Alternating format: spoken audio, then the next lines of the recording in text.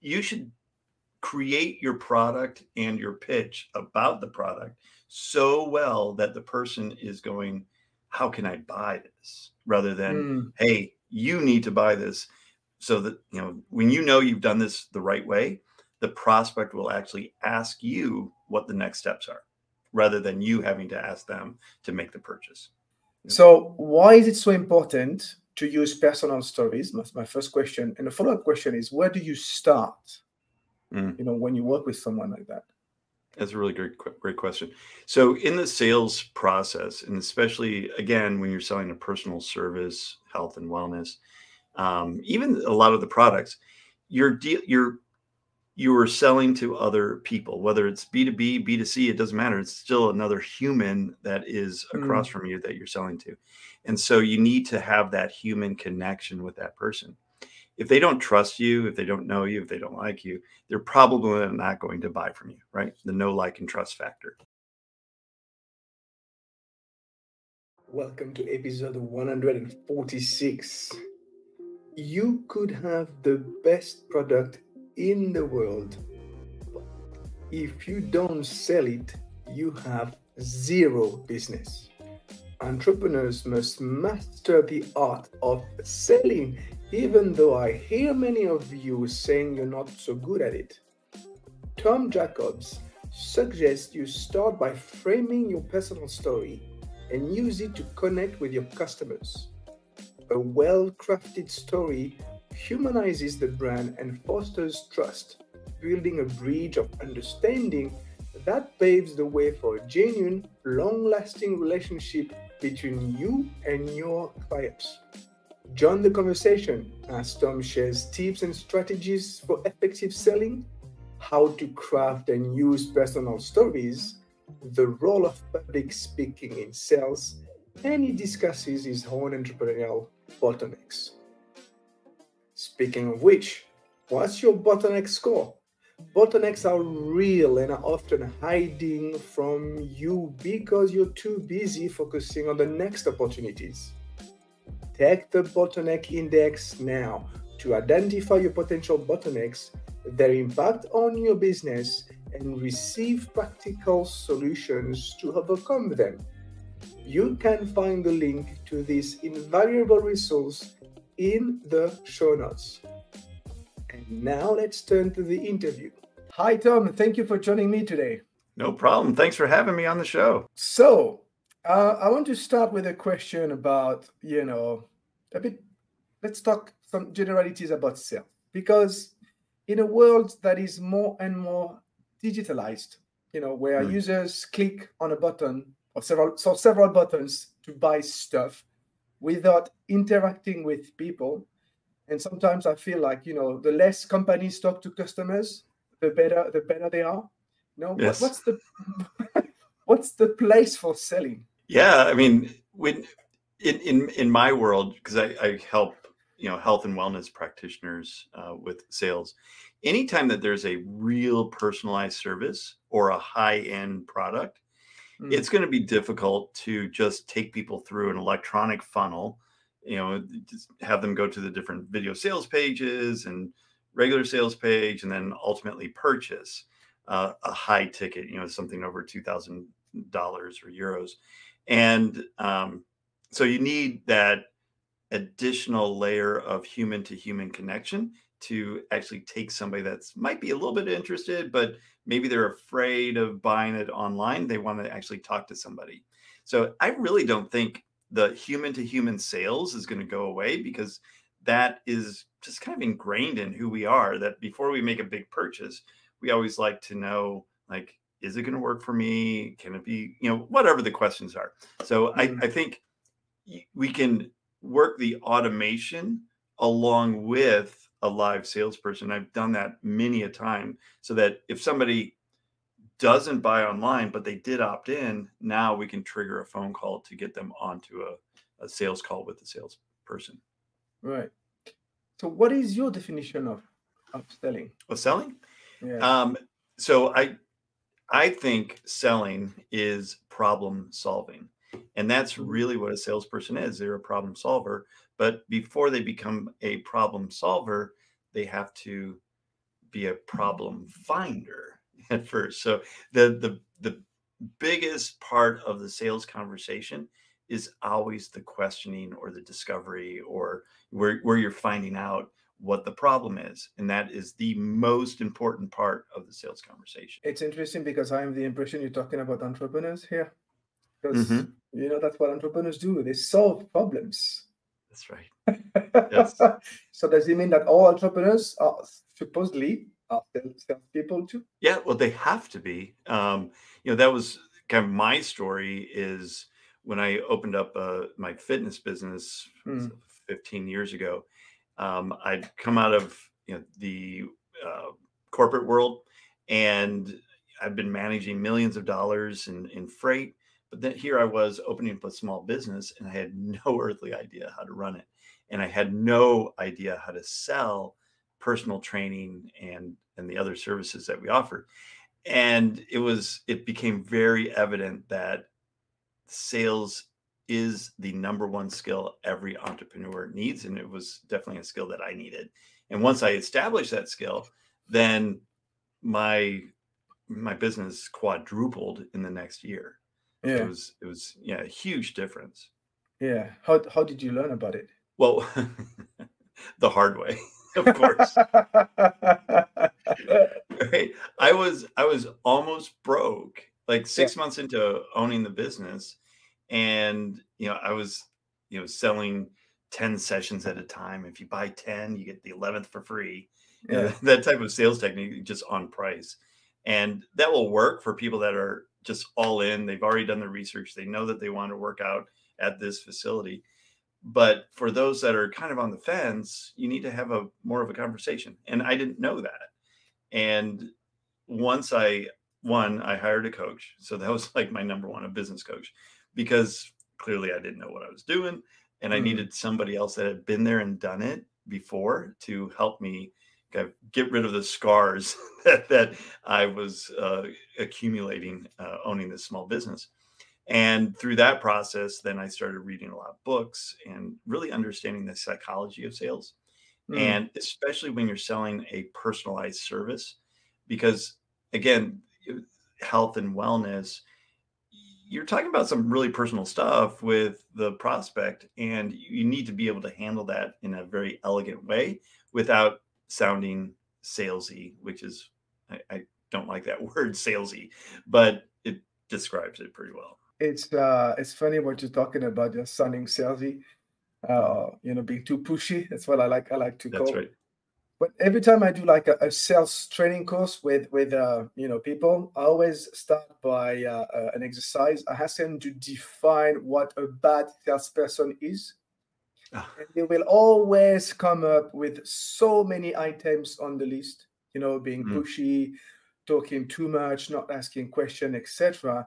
And then my next move from there is that well, now that you know what a bad salesperson is, and we all know, you also know what a good salesperson is. It's exact opposite of that. That's great. Yeah. But it's, it's not so simple. Yes, but it's not intuitive. It's, no, it's you, not. you know, it's, it, this is, and that is something that I really have difficulties to understand. Is why is it so counterintuitive? Why don't we want to have?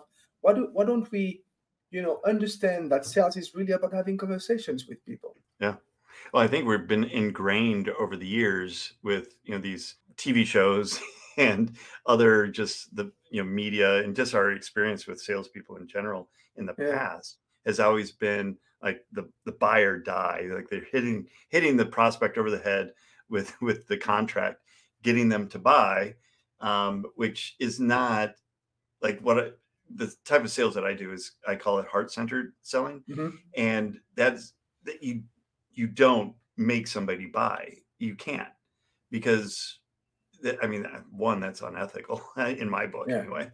And you should you should create your product and your pitch about the product so well that the person is going, "How can I buy this?" rather than, mm. "Hey, you need to buy this." So that you know, when you know you've done this the right way, the prospect will actually ask you what the next steps are. rather than you having to ask them to make the purchase. Right. And so I guess this is what you do today, because um, just to clarify, you, you help business owners, coaches, and authors also make more money, what you said, but by using their personal stories. And I think you're starting touching base on that. So why is it so important to use personal stories? That's my first question. And the follow-up question is where do you start? Mm. You know, when you work with someone like that? That's a really great, great question.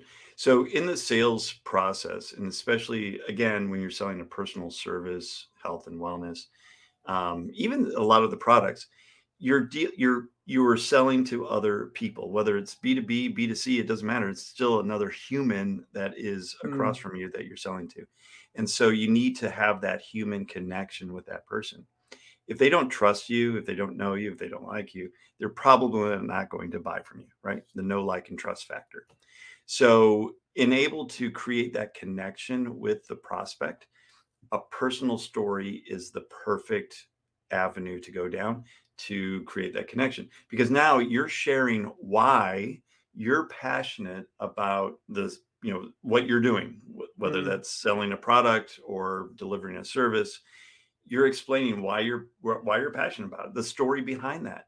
And when people understand your why, they're going to be a lot more um, motivated to work with you and go, yeah, I totally understand this. I, I get you, and I want to work with them. Right. So where, where do you start? So let's So- let's let's use let's use me as an example. Like give me give me a free coaching session. Absolutely. So, the the very first thing that we always work on is getting a list of all the stories in your life. Not all the stories, but a Yeah. good number of stories. And I always preface this with think about the times where you learn something about yourself or Mhm. learn something about others that made a difference in your life. And and you don't you don't have to think about your business life either. It could be anything, and we can always relate it back to the business uh, pretty easily.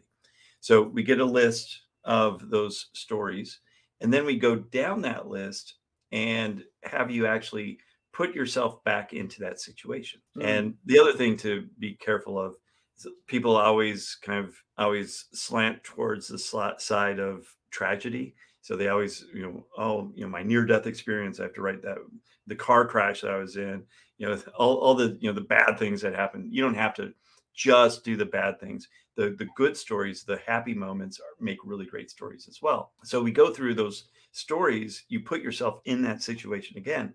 And then what I'm looking for is a physical reaction. So Mm, where are you like you know getting a little uncomfortable maybe maybe i, I see your heart rate going up or you feel your heart rate going up uh, you're breathing a little bit differently uh, maybe shifting around in your seat when you're when you're looking at one particular story and then you know the next one is like there's no reaction to it. So what i'm looking for are the stories with the most emotional charge for the speaker and that makes the best story. It also becomes kind of uncomfortable sometimes to share those stories but they make the best because you have this emotion behind it which can be then conveyed to the uh, your prospect or to your audience in a in a very compelling way yeah, I, I I understand that. Actually, this is a great lesson for for all entrepreneurs uh, out there. But in my book of sales, I've learned that it shouldn't always be about you, right? That's Because It's more it's more about them and your customers. So if you start by your story, then you're talking about you. Then how can you relate to your customers? So there's little techniques that you do as you're telling your story to bring them into the story with you. So it, it's all in how we you know craft that story and and design it. Um, I use a framework called the hero's journey, Mhm. and in there um, you're painting this picture of you as the hero but in a way that allows the prospect to see themselves in that story and themselves as a hero and you, you're using little call outs like well maybe you can relate to this situation and that brings that prospect into the story the the sales process is all about the the prospect and you do want to honor that but creating that connection at the very front end of the sales conversation with a personal story can make that make that connection even stronger and keep that prospect really paying attention to you Yeah. Do, do you have an example you can share? Make it a bit more practical. Of, of a story? Of, of, a, of a story of a client that you helped doing exactly mm-hmm. that, uh, bringing yep. the customers into the into the personal story. Yeah. So, uh, like my own my own personal story that I use quite a bit is um, the in, where I almost went broke in, in my mm. business. Mm. So, um, you know, I might be talking to other entrepreneurs about sales. I mean, this story is is really applicable for anything. It's you know, I can use it for motivational uh, talk in terms of getting people to take an action. Um, I can talk about sales and how you create these stories, uh, or you create the the process of of selling better. But I always I start the story off with with this. So there I was, Sunday afternoon, sitting in the back of my gym in the office, which shared with the electrical closet. So there's a transformer right behind me. It was super hot. It was Sunday afternoon. It's a beautiful day in in in Houston. Blue skies, a little humid, but really nice day. But I'm here in the back on a Sunday afternoon, and I'm looking at my computer screen, and tears start coming down my face. And I realized at that point, as I was staring at my computer screens and looking at my bank account, that I was going to be $10,000 short on Friday to pay payroll and rent. And I didn't know what I was going to do. So that's how we start off the story. Mm. and then people are like, oh, that's that's interesting. And then I go into that it was because of sales, because I didn't know how to sell, that I was almost broke and then the turnaround of you know getting the getting a loan from my father uh, for ten thousand dollars, getting over that hump, but also investing in myself and investing in a coach that would help me make sure that I didn't have these blind spots anymore. Right, I I understand. Uh, so then, how I relate that to selling a, a sales coaching program is like, you know, that was the route that I went down. I got a coach. You should get a coach too. Yeah, it makes a, it's a really nice correlation, right? It's it's like perfect. I, I agree. That is that is uh, very very interesting. I think I think for myself, you know, all the stories I could create following following your model. Um, you you're also on the edge of uh, public speaking, right? I think I think you also help people do some public speaking. Yes. Do, what's is there a correlation between sales and public speaking like because for me it's it's it's like sales is like public speaking it's it's you have to be good at public speaking if you want to be good at sales absolutely so i look at the public speaking where you are selling something from the stage so right. um, rather than just giving a presentation that's that's one skill set of public speaking which is great you need to know how to do that but the there's it's a whole nother skill set to now bring in how are you going to sell from the stage? And so we work together to come up with the stories, the teaching moments, and then ultimately at the end is the pitch to get people to purchase.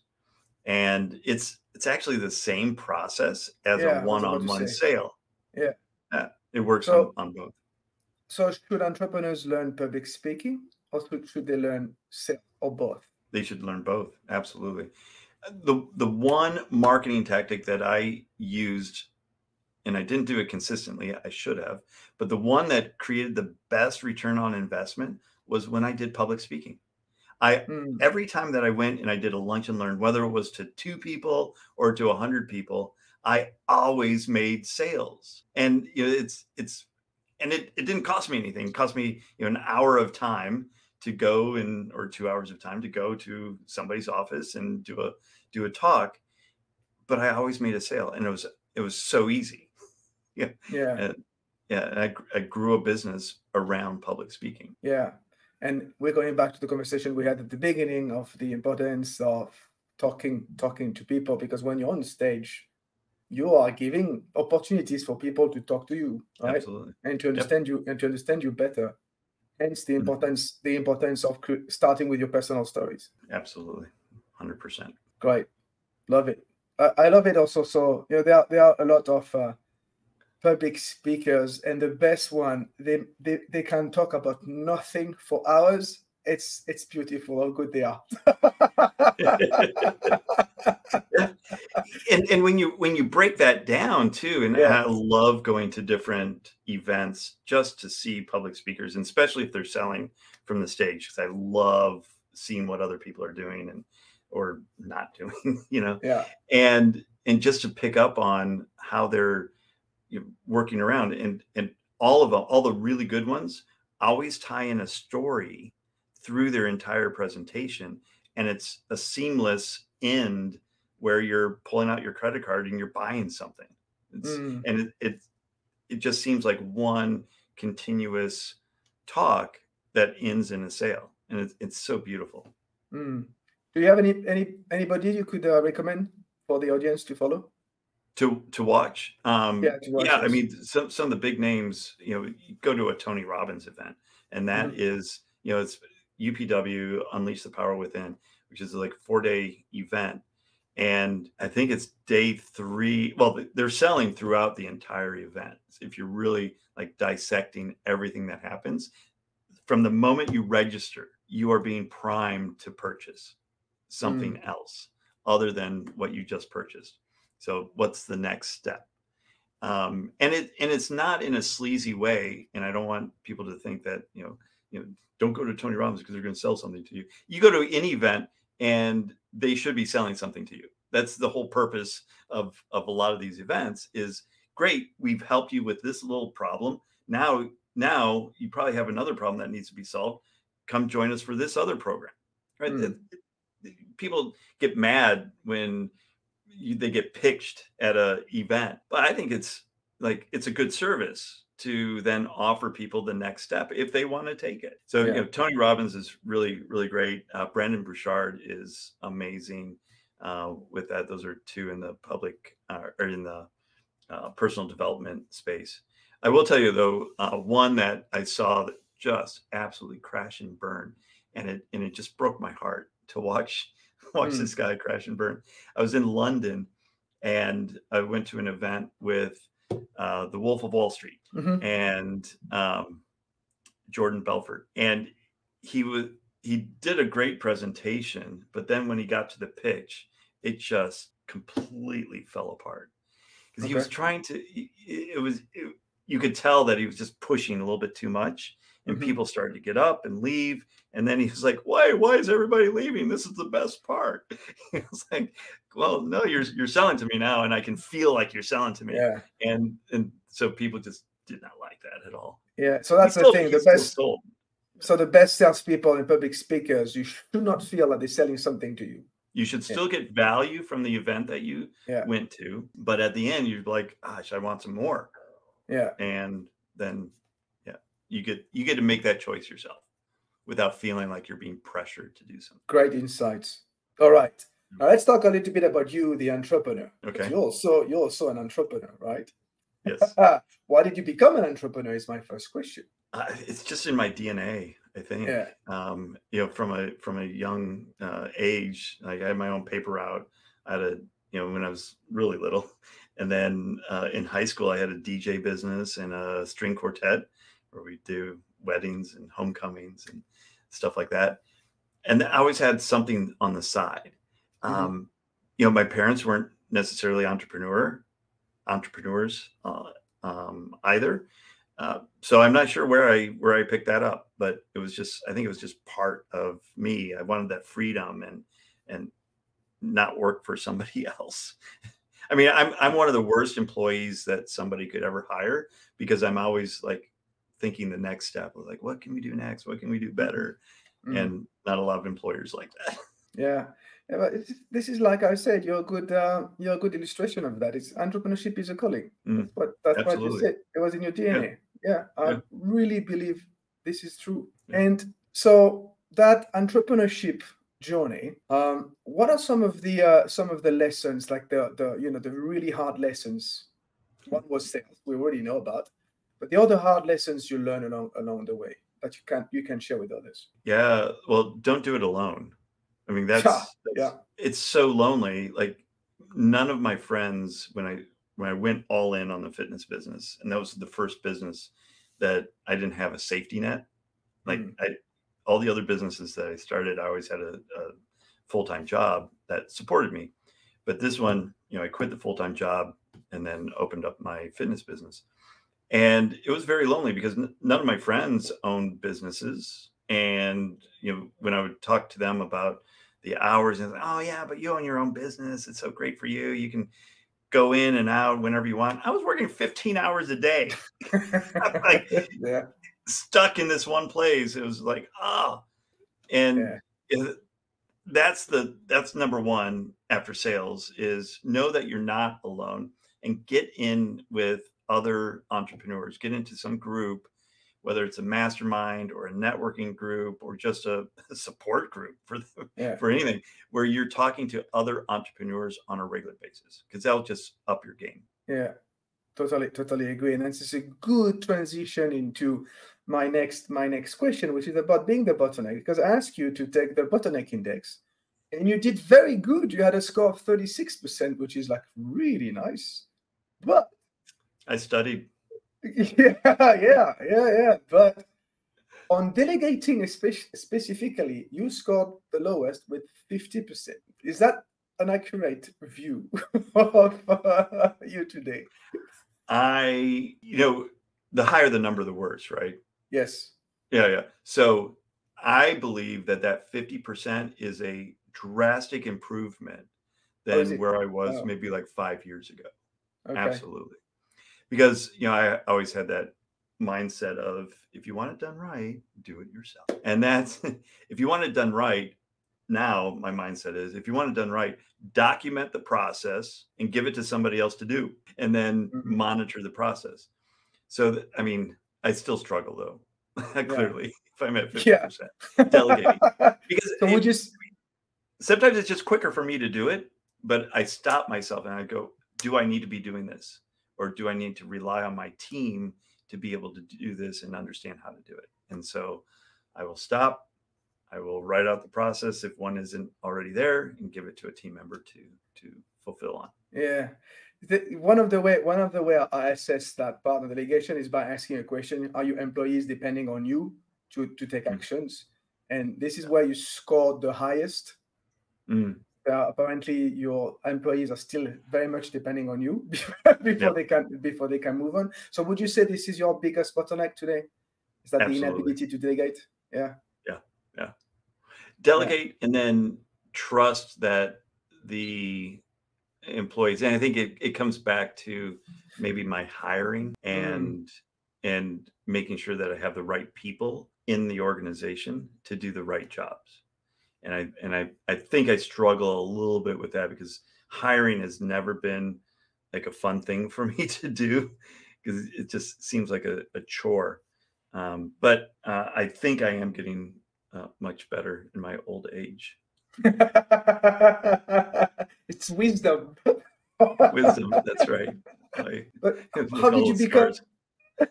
how, how have you become better? What what what are sort, sort of the, the, the practical actions you've taken? So um, one is documenting the processes that we have. Yeah.